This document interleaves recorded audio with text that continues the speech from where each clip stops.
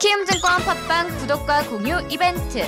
키움증권 팟빵 채널에 구독과 좋아요 누르고 SNS에 공유한 구독자 중 추첨을 통해 신세계 상품권 및 스타벅스 아메리카노를 드립니다. 유튜브, 인스타그램, 페이스북, 카카오톡에 구독과 좋아요 누르고 공유하면 당첨 확률이 up! 이벤트 기간은 6월 1일부터 6월 28일까지. 키움증권 팟빵 이벤트 많은 참여 부탁드려요.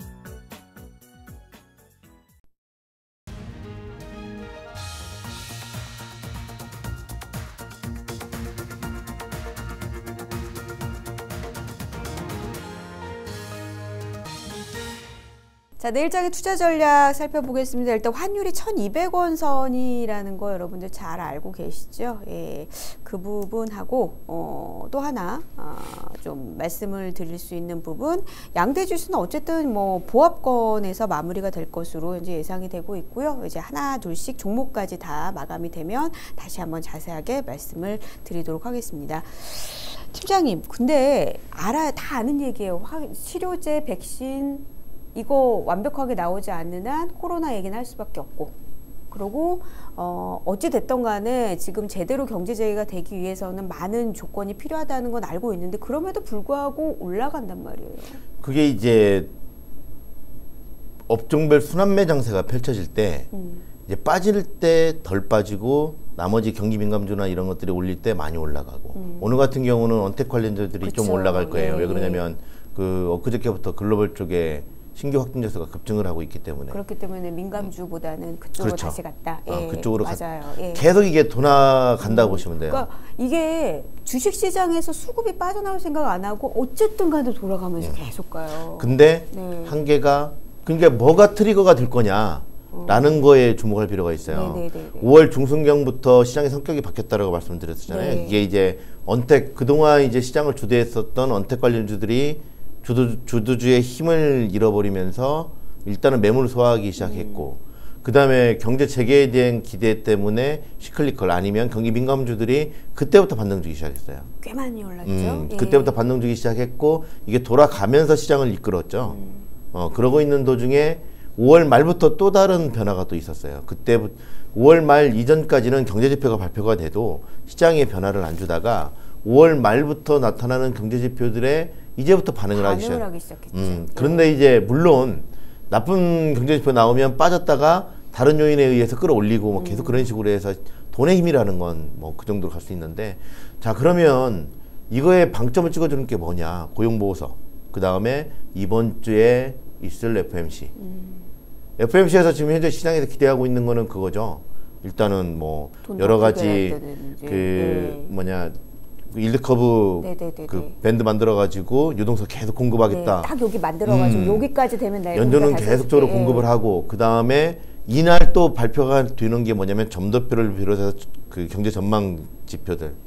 근데 이제 점도표에서 만약에 내년도 말에 금리 인상을 시사하는 점도표가 이제 나타나면 시장은 네. 좀 매물이 나올 수가 있죠. 네, 네, 네. 예전에도 2013년도 FMC 때 그 얘기를 했었거든요. 그때 이제 앞으로 뭐 2년, 2년 한 2년 후에 금리 인상 할 수 있어라고 했는데 그때부터 시장이 빠지기 시작했어요. 음.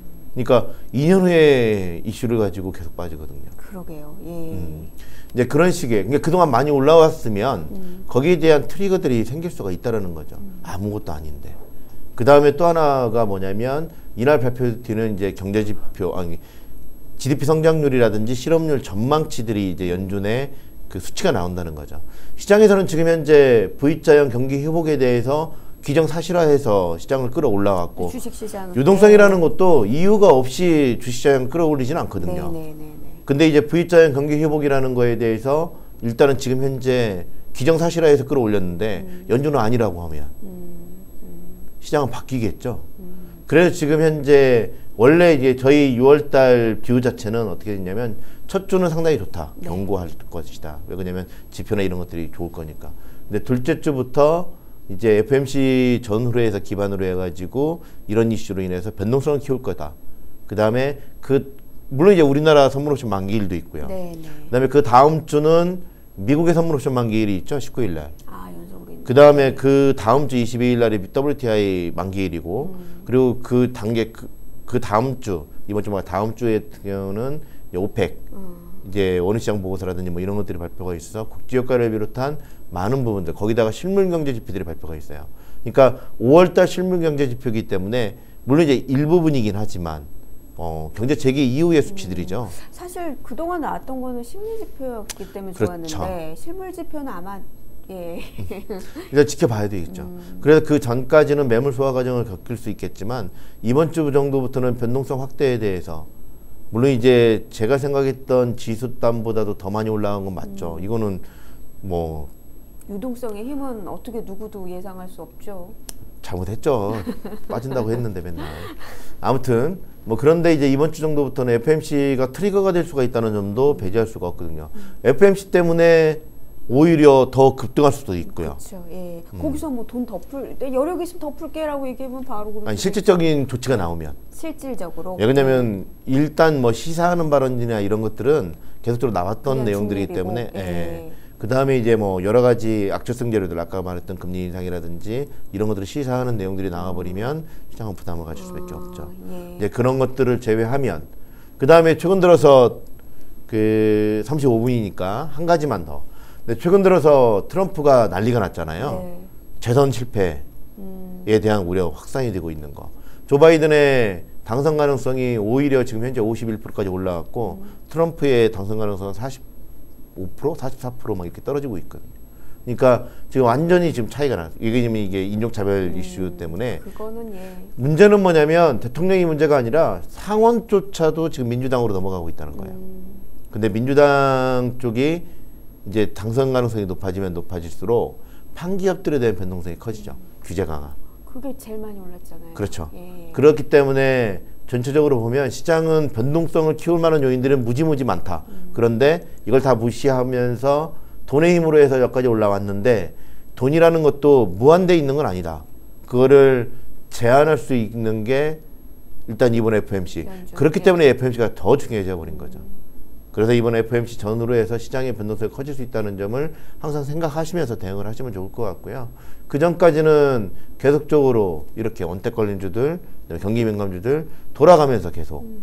위아래로 흔들리는 그런 모습을 좀 보일 것 같다. 매물 소화 과정이라고 보시면 될것 네. 같습니다. 팀장님, 그 연준이 언제 있죠, FOMC가? 이게 내일부터 네. 모레까지니까 목요일 날 아침에 발표가 아, 있습니다. 목요일 날 아침 우리나라 네, 우리나라 시각으로 목요일 날 어, 3시. 그 주 후반 정도에 대해서 조금 더 좀 주의 깊게 봐야겠네요. 그렇죠. 미국 쪽의 소식을. 네. 그러니까 그 그날이 뭐 FMC도 있고 우리는 선물 옵션 만기일이 음, 있고 음, 그날 저녁에 맞아요. 있는 게 OECD 경기 전망 보고서도 있고 어. 이게 시장을 변화시킬 만한 요인들은 되게 많아요. 네, 네. 그래서 그 그게 이제 뭐 어쩌고 저쩌고 잘 나와서 이제 시장을 끌어올릴 수는 있겠지만 어, 지금 현재까지는 시장은 코로나 이전으로 돌아갔기 때문에 주식 시장만 채권하고 상품 시장이나 이런 것들은 완전히 음. 아직까지도 위험 신호를 계속적으로 보이고 있는 상황이지만 음, 음. 네, 그런 상황이라 보시면 될 것 같습니다. 알겠습니다.